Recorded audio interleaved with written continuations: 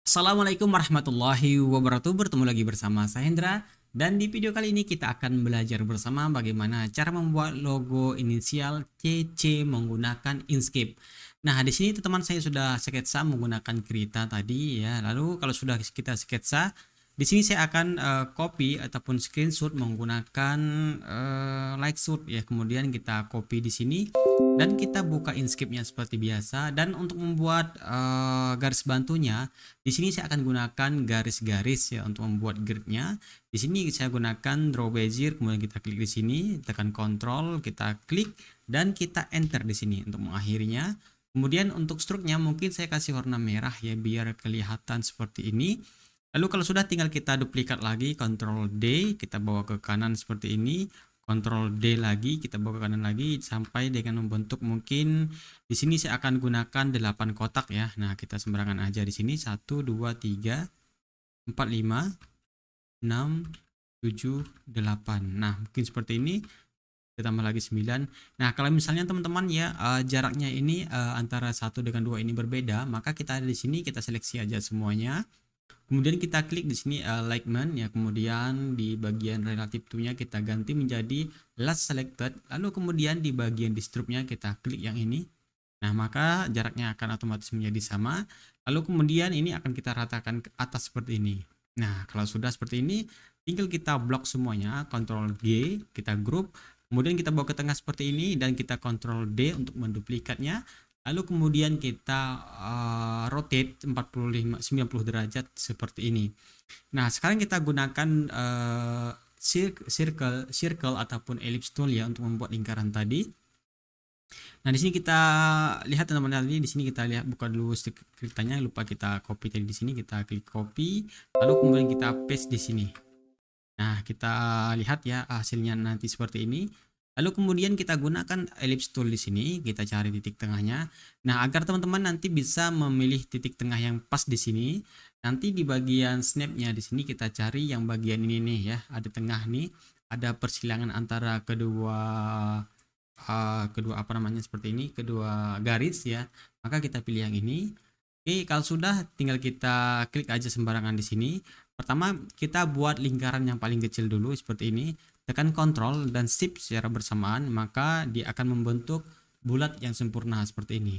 Nah, kalau sudah di sini kita akan besarkan terlebih dahulu uh, untuk struknya. Di sini mungkin di bagian struk stylenya kita ganti menjadi pixel lalu kemudian kita kasih nilai 60.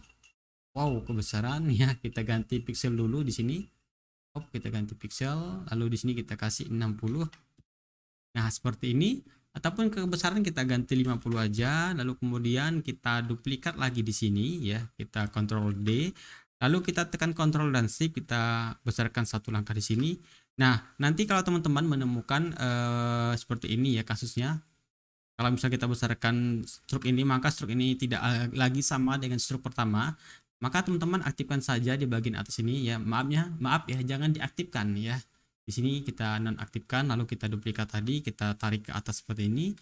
Dan kita duplikat sekali lagi kita tekan tekan Ctrl D lalu kita bawa ke atas sub. Nah seperti ini Nah, untuk cara lain untuk menduplikat beberapa lingkaran menjadi satu agar jaraknya sama, kita bisa menggunakan part effect, teman-teman ya.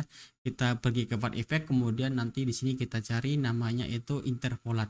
Nah, kebetulan saya menggunakan Windows, jadi ada sedikit bugnya ataupun tidak berfungsi di menu part effect-nya ya. Oke, sekarang lanjut ya. Kita buat ini kita combine dulu ya, kita combine kita klik part kita combine. Ini fungsinya uh, combine dan group itu beda. Tapi sekilas sama ya akan menyatukan beberapa objek menjadi satu. Tapi kalau combine ini bisa kita misalnya kita untuk memotong objek sekaligus ya tanpa harus memilih satu-satu maka itu kita gunakan combine. Nah kalau kita gunakan group itu tidak bisa kita potong. Sedangkan kalau kita combine itu bisa kita potong. Oke sekarang kita akan buat uh, garis satu lagi ya untuk potongan di sini Nah mungkin yang ini kita besarkan dulu.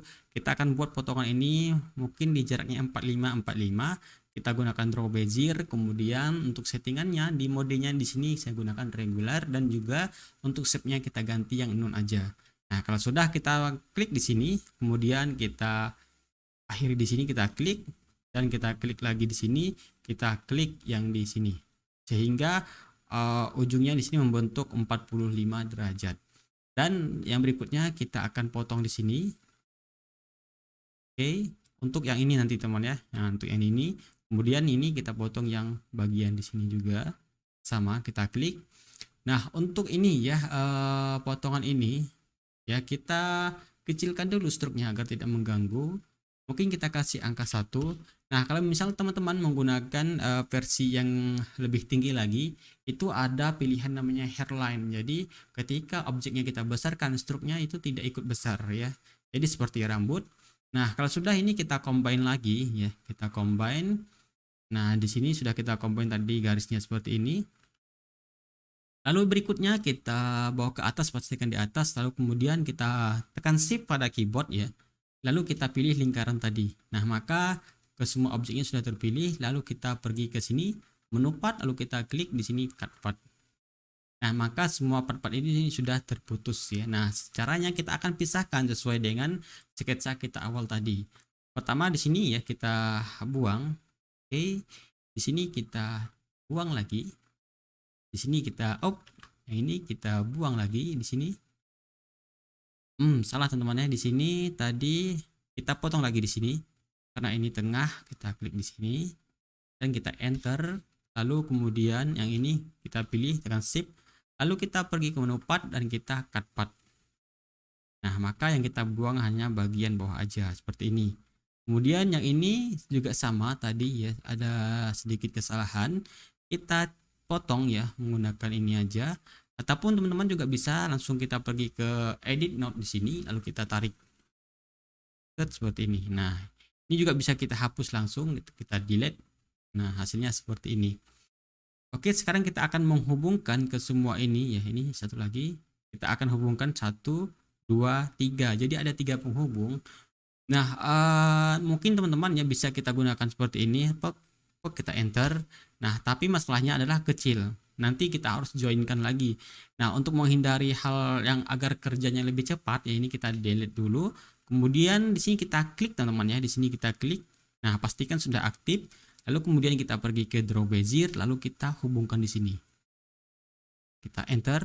Nah maka dia sudah otomatis tidak tidak perlu lagi kita joinkan partnya. Oke lanjut ya. Kita netralkan dulu di sini. Kemudian kita hubungkan lagi yang di sini. Kita klik draw bezier. Kita klik di sini. Tekan enter. Nah seperti ini lalu kemudian yang terakhir ada bagian bawah di sini kita klik lalu kita pergi ke draw bezier dan kita hubungkan seperti ini. Kalau sudah tinggal kita klik. Boom op. Belum tadi ini ya belum aktif di sini. Kita tekan dulu. Dan kita hubungkan di sini enter. Nah maka sudah terhubung. Nah, kalau teman-teman nanti melihat uh, ada beberapa sudut di sini menjadi lancip, tinggal teman-teman nanti bagian joinnya kita pilih yang rounded aja ya. Contohnya seperti ini. Nih, ya agak lancip kita ganti yang rounded aja seperti ini. Nah, kalau sudah teman-temannya ini tinggal kita pilih semuanya. Ini sudah kita tidak kita pakai, kita hapus dan kita hapus lagi. Dan untuk gridnya sudah kita uh, gunakan, jadi tidak kita gunakan lagi Lalu kemudian untuk backgroundnya mungkin kita ganti menjadi warna favorit teman-teman. Ya seperti biasa warna favorit saya. Ya kita klik di sini. Lalu kita kasih warna. Untuk snapnya kita matikan aja karena sudah tidak dipakai. Nanti uh, akan terjadi berat teman ya. Akan uh, berat. Ya bukan terjadi berat. Ya di sini kita klik lagi dan struknya kita ganti warnanya seperti ini dan alfanya kita naikin.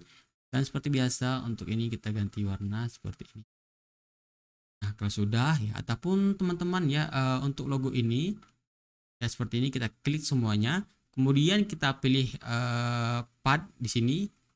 Maaf, kita pilih objek lalu kita jadikan uh, struktur pad. Karena di sini semuanya struk, kita jadikan struktur pad, kita pilih pad, kita klik di sini ada namanya struktur pad. Nah, kalau sudah ya, tinggal kita ungroup semuanya. Takutnya ada beberapa objek yang tergrup lalu kemudian kalau sudah klik uh, part kita union. Nah makanya semuanya sudah tergabung uh, ya. Kemudian kita akan kasihkan ya mungkin background ini kita ganti menjadi jangan yang seperti ini. Kita ubah seperti ini. Lalu kemudian kita kasih warna transparan. Maaf kita kasih gradient seperti ini. Kita ganti menjadi warna hijau di sini. Kemudian di sini agak warna biru tapi warna pink juga boleh di sini